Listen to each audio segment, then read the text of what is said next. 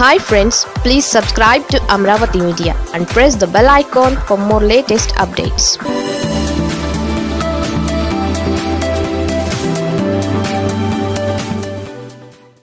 జగన్కు పెరిగిన ప్రజల మద్దతు తాజా సర్వే తేల్చింది ఇదే. ఒక నాయకుడు కృతగా అధికారంలోకి రాగానే తన పార్టీ ప్రజల్లో కల్పించిన ఆశలకు తగినట్టు పనిచేస్తుందా లేదా అనే పరిశీలన నిఘా అధికంగా ఉంటుంది. ఎన్నికల ముందు ఏవేవో హామీలు ఇచ్చి తీరా కుర్చీ ఎక్కాక వాటిని తీర్చలేక పిల్లి మొగలు వేసే బోలెడు మంది నేతలను చూశాం కదా.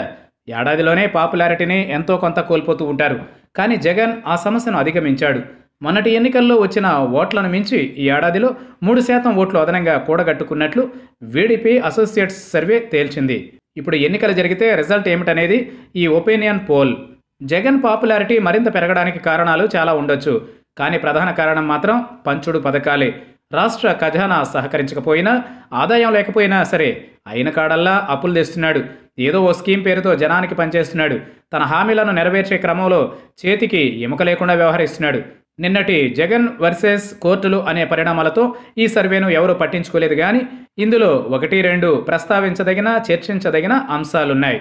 తెలుగుదేశం మళ్ళీ లేవకుండా ఉండేందుకు జగన్ దానిని అన్ని రకాలుగా తొక్కేయడానికి విశ్వ ప్రయత్నం చేస్తున్నాడు. రాష్ట్ర వ్యాప్తంగా టీడీపీ కేడర్ డిఫెన్స్ ధోరణిలో పడిపోయింది. నాయకులంతా సైలెంట్. కొందరు వైసీపీలోకి జంప్.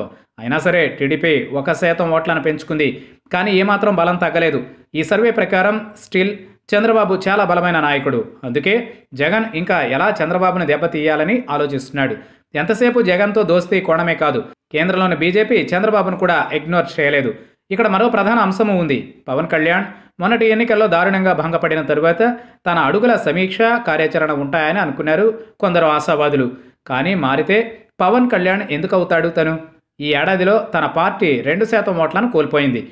అంతేకాదు సీఎంగా ఎవరు బెటర్ అనే ఓ ప్రధాన ప్రశ్న ఫలితాల్లో పవన్ కళ్యాణ్ సీఎం జగన్ చంద్రబాబులకు పది ఆమడల దూరంలో నిలబడిపోయాడు. ఇలా ఈ ముగ్గురు కాకుండా ఏపీ రాజకీయాల్లో మరో ప్రధానమైన నాయకుడి పేరు కనిపించకుండా పోయింది. ఇది ఓ ట్రాజడీ. ప్రజలకు ఛాయిస్ లేదు. రాజకీయాల్లో నాణ్యమైన నాయకులు కరువయ్యారు. ఈ సర్వే నిర్వాహకులు చివరకు దగ్గుబాటి పురంధేశ్వరిని కన్నా లక్ష్మీనారాయణను కూడా సీఎం స్థాయి నాయకుల జాబితాలో చేర్చారు. కానీ అబ్జర్డ్. ఎందుకంటే పురంధేశ్వరికి ఇప్పుడు అంత సీన్ లేదు. కన్నా లక్ష్మీనారాయణ ఎప్పుడో ఫేడ్ అవుట్ కనుచూపు మేరలో మరొక నాయకుడు లేడు.